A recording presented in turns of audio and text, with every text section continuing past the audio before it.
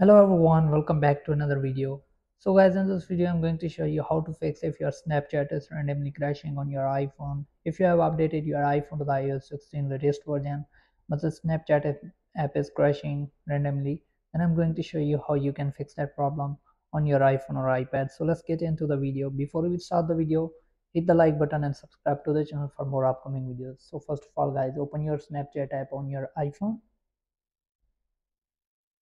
then simply click on your username click on setting scroll down.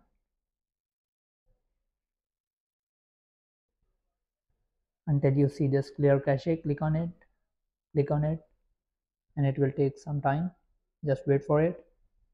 So once it's done just click on ok.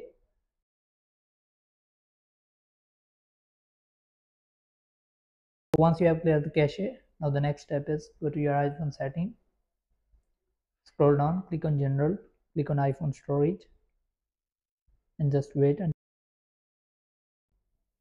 now just wait. Now find the snapchat app then click on it. Click on offload the app. By clicking the offload this will keep the documents on your app. So just click on it until you see this reinstall app. Click on it.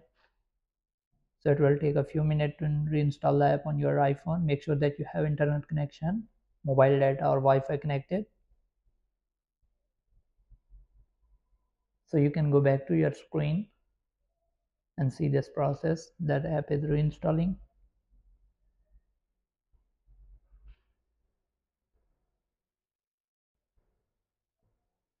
So once the app is reinstalled on your iPhone, that means your problem is fixed. Now you can use your Snapchat.